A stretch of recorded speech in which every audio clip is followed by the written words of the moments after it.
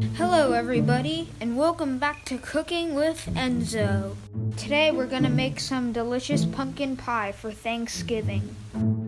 Now, I've never actually made pumpkin pie, and I actually don't know how to make pumpkin pie, but we're gonna make it work.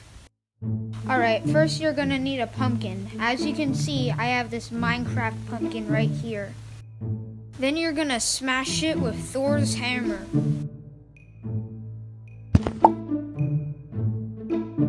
Then you're gonna get a pie crust from Walmart and use it to get all that raw pumpkin guts. And then you're gonna put it in the oven for 200 minutes.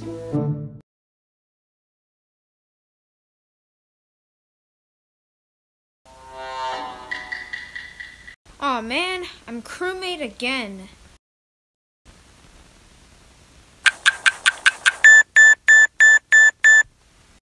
I think the pie is ready.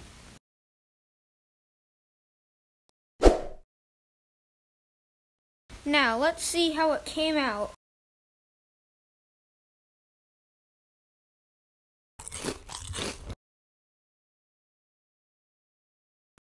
Ugh.